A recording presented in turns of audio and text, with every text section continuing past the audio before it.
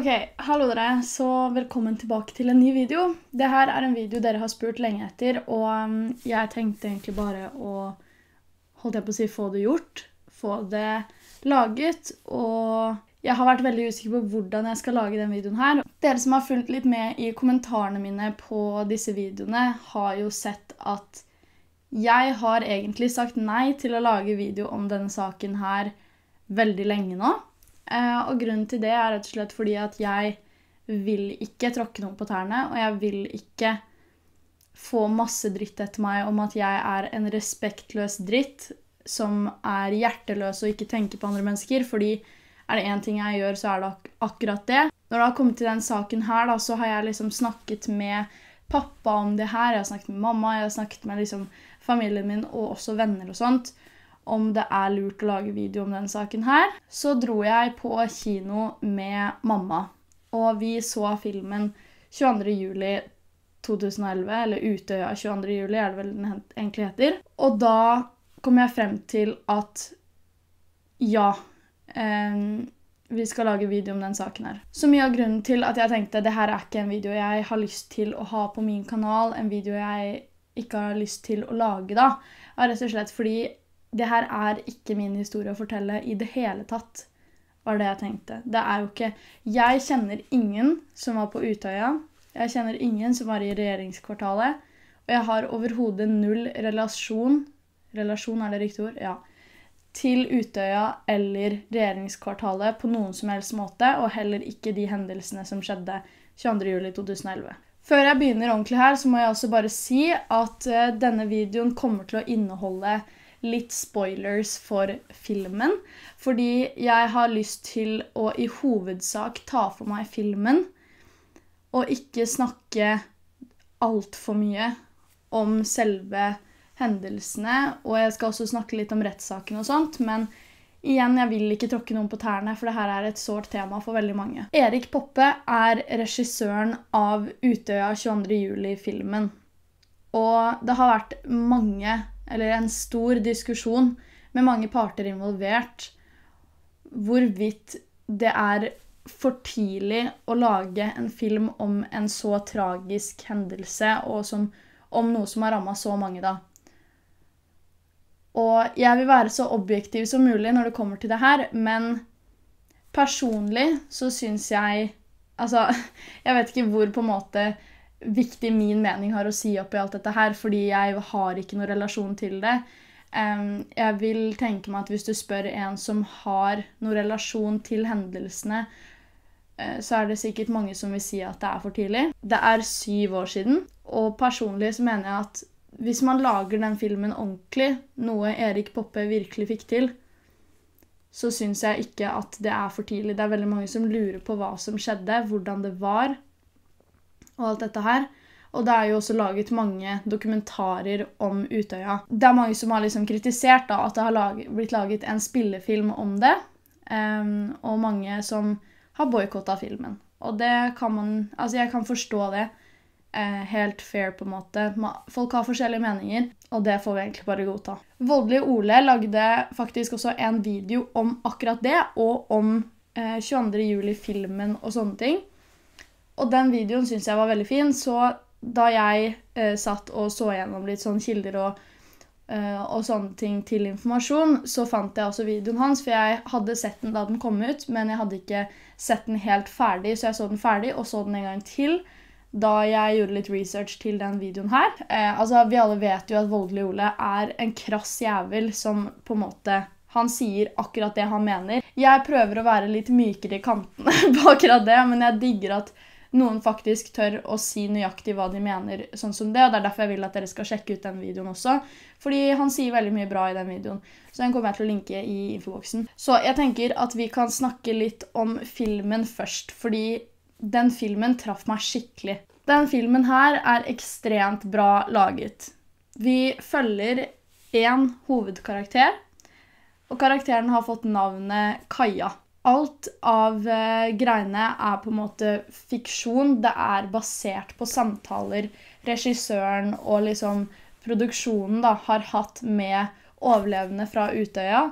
Det var det som sto på rulleteksten da kinofilmen var ferdig. Og det er på en måte basert på ekte historier, men det er i filmen så er det ikke sånn at Kaja er en faktisk person. Det er ikke sånn at den, eh, det hendelsesforløpet som skjer i filmen, er et direkte utdrag fra en faktisk historie.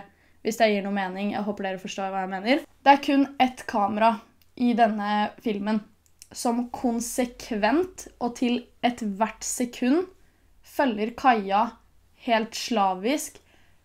Og kameraet beveger seg kun etter Kaja, og på en måte Altså, kameraet blir på en måte dine øyne, da i denne filmen, og kameraet slipper ikke taket på hendelsene. Filmen er filmet i tilsynelatende eh, et one take, som vil si at det er bare ett klipp gjennom hele filmen. At det tilsynelatende ikke er gjort noen klipp, eller at det, de Altså, det ser ut som at alt er filma på én gang. da. At det, hele filmen er laget på ett og samme eh, spor. Det er ikke redigert. Det kunne like gjerne vært en råfil. ikke sant?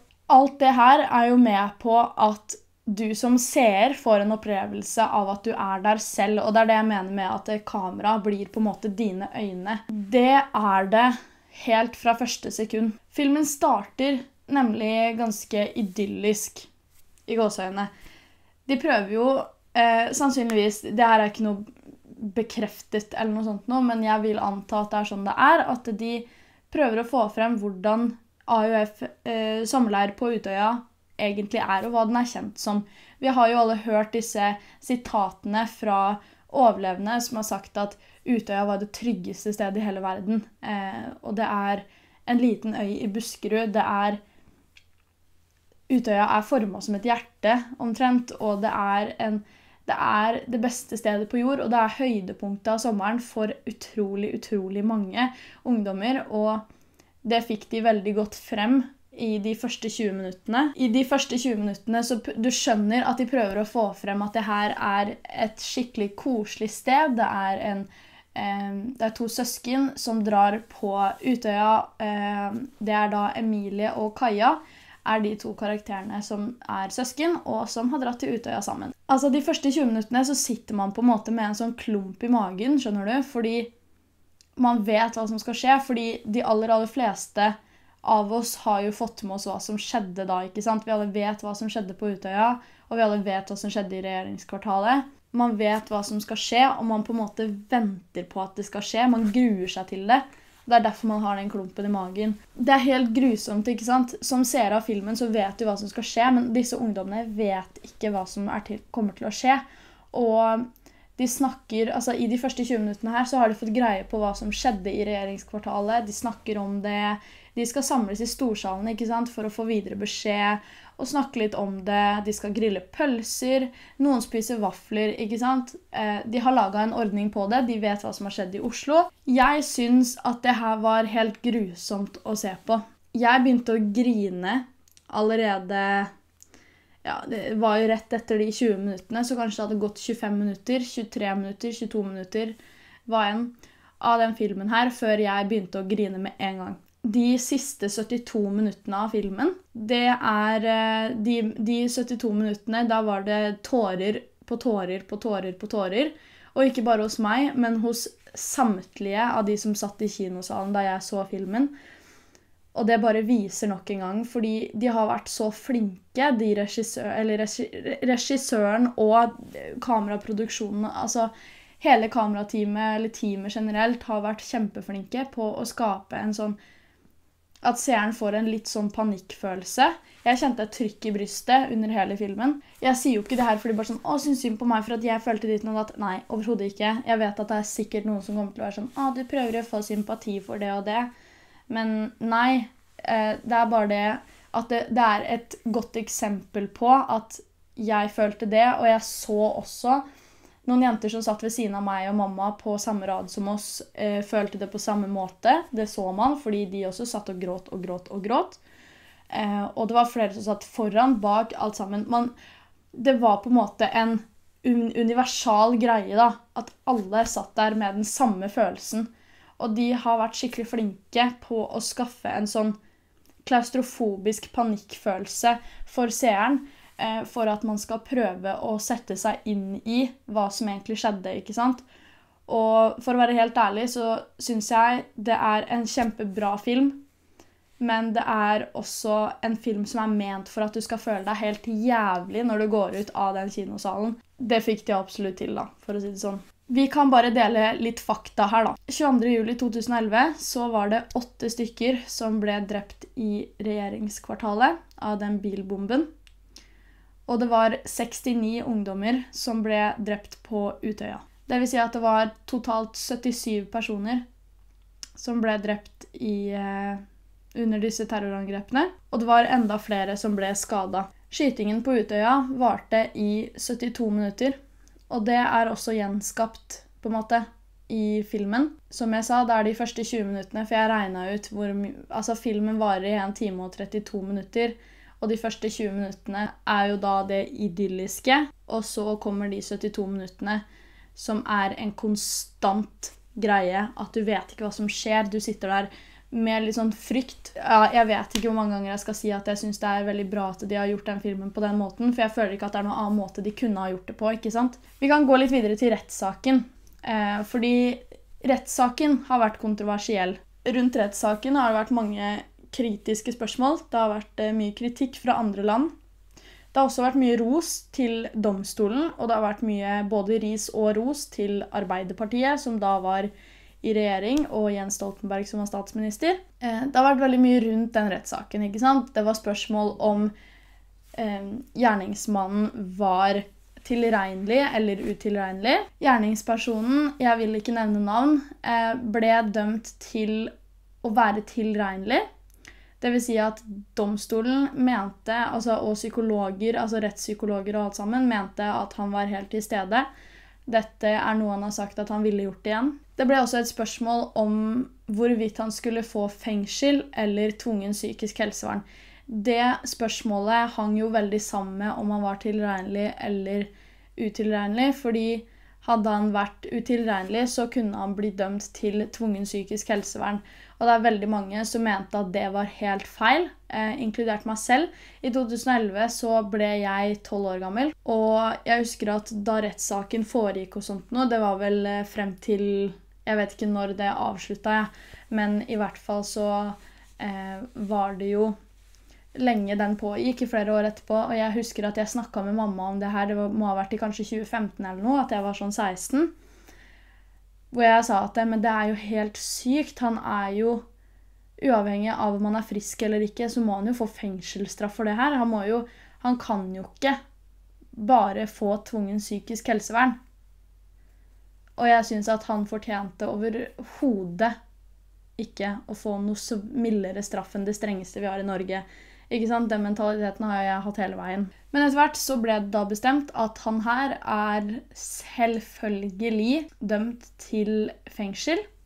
Dommen kommer jeg litt tilbake til, men det var faktisk enstemmig i retten om at han skulle få fengselsstraff, og han var tilregnelig. Han fikk 21 års forvaring i fengsel. Han ble vel innsatt i Ila fengsel, som er eh, et sånt maximum security, altså høysikkerhetsfengsel. Og den straffen fikk han for planlegging og gjennomføring av eh, hendelsene eh, på 22. juli. Da. Jeg vet at når jeg har brukt ordet forvaring og sånt før, så er det flere kommentarer på videoen om at hva er forvaring for noe?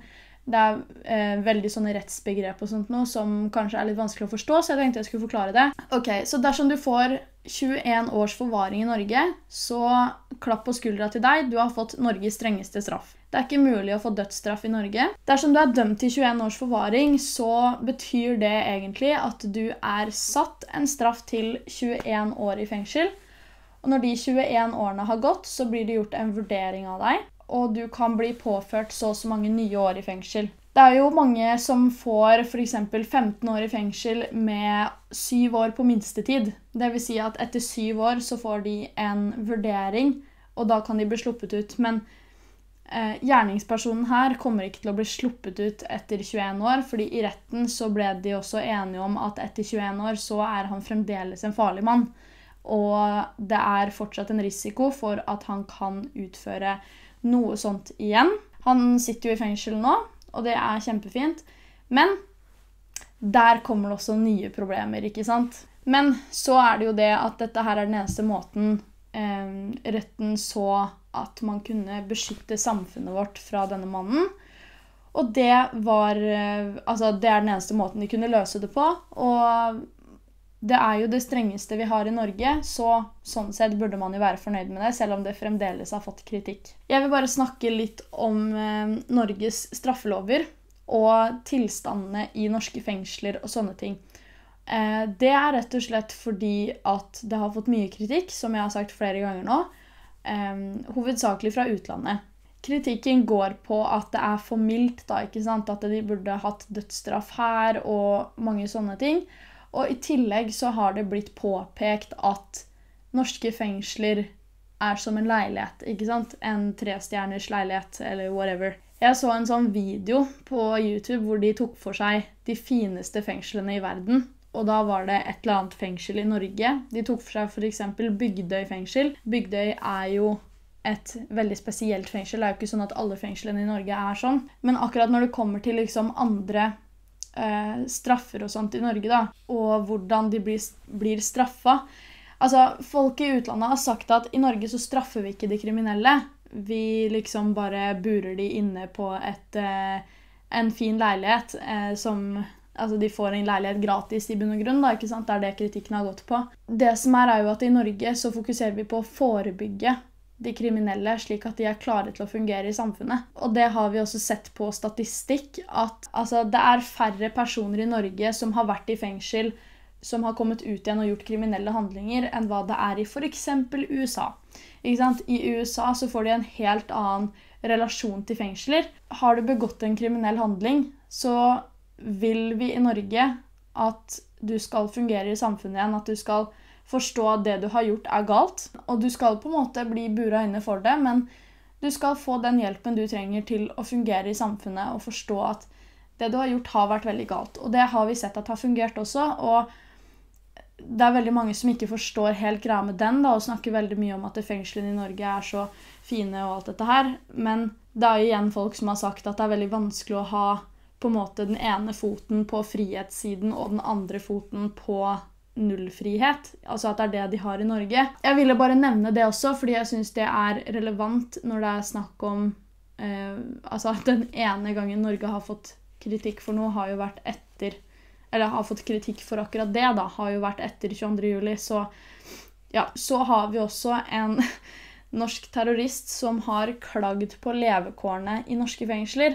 Og det er på grensa til Eller det er ikke på grensa til engang. Han har sagt at dette er brudd på menneskerettighetene. Han ville ha en PlayStation 4. Hvis ikke så kommer han ikke til å være i noe mer avhør og alt dette her. Og han vant faktisk det søksmålet der. Eh, noe som kan diskuteres. Men eh, ja. Jeg håper i hvert fall at det her ikke var en video som du ser på som at jeg har tråkka noen på tærne. Og hvis jeg har sagt noe i denne videoen som har vært feil, så håper jeg at eh, dere som mener at det er feil, kan si det på en ordentlig måte. Eh, så kan vi heller snakke ut ordentlig om det istedenfor å slenge dritt av. ikke sant? Fordi jeg prøver så godt jeg kan å lage disse videoene uten å være på en måte veldig Altså være frekk i kjeften eller slem eller noe som helst. Men jeg syns at enkelte ting er viktig å snakke om, og jeg syns det er viktig å snakke om om drapssaker og forsvinningssaker, og også en sånn tragedie som har skjedd i Norge. Så ja. Jeg håper at eh, du likte den videoen her, at eh, du fant det interessant eller noe sånt nå. Eh, det blir veldig mange sånne begreper som blir feil å bruke i en sånn her situasjon. Men ja, whatever. Håper at du likte videoen, og hvis du gjorde det, så må du gi den en tommel opp. Og så husk å abonnere på kanalen min. og Følg meg på mine sosiale medier og alt sammen. Det står i infoboksen. Og så kan du ta og følge russegruppa mi. Olav2018 på Instagram. Eller 2018olaf. Ja, whatever. Vi snakkes i hvert fall veldig, veldig snart med en helt ny video. Ha det bra!